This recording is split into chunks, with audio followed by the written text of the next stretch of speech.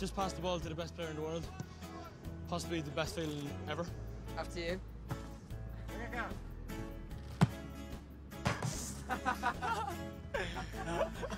I'll just follow that up. you, you